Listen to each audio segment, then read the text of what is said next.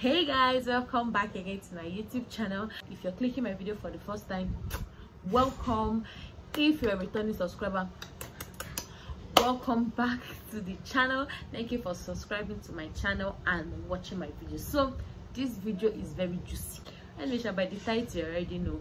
Anybody that asks you for urgent 2k forward this video to them. I'm just going to be telling you six small business ideas that you can consider doing this 2023 if you're looking for something to do or you already have a business and you just want since you have little extra time you want to just put that time to good use or you're a student and you just need some extra cash because you cannot always be asking your parents for money you know you just want some extra cash for yourself. This video is for you so just hang in there. You're going to enjoy this video. You see me holding this paper. Please excuse the paper because i had to take notes you understand? Hmm. so the first thing the first business on my list is cleaning. You know people don't really understand this but people are getting lazy by the second. And most people that are lazy people are people that have money. So you you don't need shop. You don't need a little money shop because you need to buy mop buckets and all those cleaning items. Once you get that it's less than 20k eh? Just post on your whatsapp status just put online that oh i can clean for you so so so so dm me for price. You understand that kind of a thing? You know just i can clean wash your clothes. People that have money don't want to do the work. So do the work for them and get paid. Stop sleeping. You can do all of that and get paid. Like your university students people students most especially are the ones that don't like doing anything. You can go and be like okay i can help you sweep your room sweep your corner arrange your organize your wardrobe. People don't organize their wardrobes. If they see someone to organize it for them they will definitely take it. I'll organize your wardrobe wash your clothes this. You can you pay me some so amount. You bargain. Okay the next on my list is ps for this one you need a little money but no i'm not even talking about now that maybe cash is cars and they are using uh, you know 3000 to withdraw 10,000 i'm not talking about now. I'm talking about even before. If you open an opay app on your phone you will see that there are so many rewards for tv subscription for transfer. So apart from the money you give them they actually get commissions for doing transactions. They get commissions for you know doing buying airtime doing um all this tv subscription dstv and the likes for you know other all those other things. They get money for doing all those things. Like three people that want to do dstv subscription. Opay will first give you your own commission. Then you still collect from them. So you see how the money is coming in it's a win-win situation. The next thing is drop shipping you know i like this one? You don't need buying to start my brother. All you need to do is summon up courage. You cannot be broke and proud. You have to bring yourself down. You walk into a store you, you have to use your your common sense to know like it has to be a big store. Someone that does wholesales you know so a big store. Just walk in talk to talk to the um just relates your idea to the owner of the store. You and it's a win-win for both of you because you're bringing a customer for him he's selling his market and you you're getting your small thing that you must have added on top or once he makes sales he gives you a commission for the person you brought I don't know if you're understanding me. I, I hope I'm not blabbing. I hope you're understanding me. If you have any question, feel free to leave it in the comment section. I will answer it there in case I'm not being clear enough. So the next thing on my list, my, my list is thrifting. See, thrift is just a is just this big name for Okrika. You can, but see, but if you want to do a business, packaging matters. So don't just go and do normal bend and select. No, don't do that if you go to a big thrift market or cricket market that means market english that you understand pick first grade clothes package it. You don't need to have a shop. All you need to do is to bring out your phone. And as i said before you cannot be broke and proud. You have to bring down yourself so when you bring out your phone you have to advertise it like your life depends on it. When you advertise somebody somewhere will patronize you. In somebody will see it you like it buy you're making sales. So even if you have just 20,000 naira you can start thrift. You don't need to buy so much. Even if you buy 10 pieces of clothes you sell that one first. As the money is coming you are going to the market you're increasing your sales. Before you know what's happening you're thinking of opening a shop.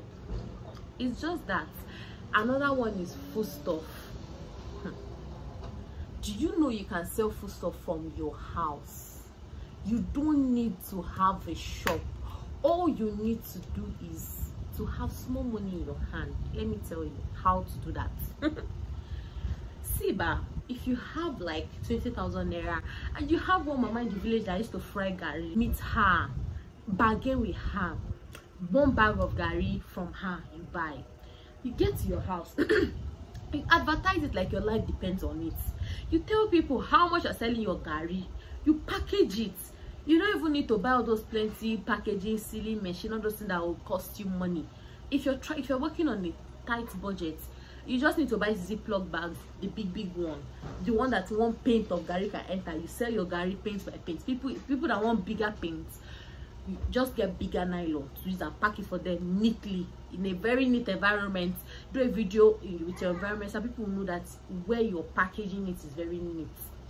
Post it online advertise it. People that want to buy they remember that oh i have somebody on my whatsapp that sells this. And gari is something that everybody's eating. It can even be rice. It, it can be anything. You don't understand what i mean. Like get the point. I'm saying gari doesn't mean it has to be gari it can be egg. I know someone that is doing egg. She's not the she doesn't even have to just know anything about poultry. But she has she knows someone that does that is into poultry farming. She goes there use her phone you know just take a picture with uh, um, and everything do videos and whatnot. Post it online. People that want crate of egg you go and deliver. It's very simple. If i remember if like if i want to get something maybe i just need eggs and i'm like why would i go to the market to buy egg? Oh there's somebody on my status that's selling egg. Do you get me? Do you understand what i'm saying? It can be it can be anything that your money can afford. If it's only gari it's fine. If it's only rice it's fine. If you can join it together it's fine. If you just want to test run it just get one item or two items test run it and you understand and just dive into this then as you're getting to know the business more and i will also say any business you want to start don't just start it blindly. Make sure you have an idea of what you're getting yourself into. Do some researches you know just make a little findings about what you're about to start before starting. And then once you start you are good to go. Private lesson. You don't need to have a degree for this but people don't know. All you need is make sure that the subject you want to teach is something you are very familiar with. Be able to tolerate children because no children can be a lot. So once you have that tolerance for children and you have an idea like you have a broad knowledge of a particular subject or maybe two subjects that is it just walk to your neighbor downstairs people around that you know that have children and be like oh i teach it can be the language you speak as long as you know it very well. Like from a to z you can teach it. Once you talk to them like intelligently like they will see the way you talk the way you speak to them maturely not you're speaking to them and you're speaking not not that pidgin is bad but you're talking to them and you're speaking like eh, hey i get something. They'll be like that was just going to teach my children. No so you have to speak intelligently like professional just put your subject out so that she will not gonna start telling you subject you don't know how to teach. Maybe you don't know maths. So say i i come at mathematics. So you have to put your own subject out. And then once there's no parent that don't want their children to be intelligent. You understand? Especially when it comes to education so if you enjoyed this video please give it a thumbs up. I would really love to do a part two because in fact i love this kind of videos. So i really love to do a part two. So if you enjoyed this video give it a thumbs up like it share it and i will see you in my next video. Don't forget to leave a comment for me. If you like this video just tell me in the comment section that you like the video. If you didn't like it still tell me you didn't like it. If you have any questions on any business i mentioned now please let me know in the comment section. I will be there replying all your messages and i will see you in the next video. Bye bye